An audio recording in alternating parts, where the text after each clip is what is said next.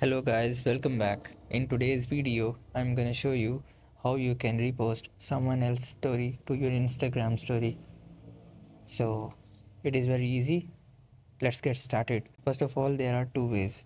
The first one is when someone doesn't does not mention you. Find the video or post which you want to repost.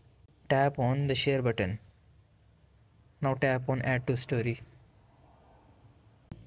after tapping on add to story now you can repost the story. So here is the first method. And the second one is when someone mention you. Go to chats. Here in the first message someone is mentioned me. Tap on it. Tap on add to your story. Now here you can easily repost the story by tapping the by posting the story. So these are two ways hope you would like it. Do like share subscribe. Thank you so much. Bye bye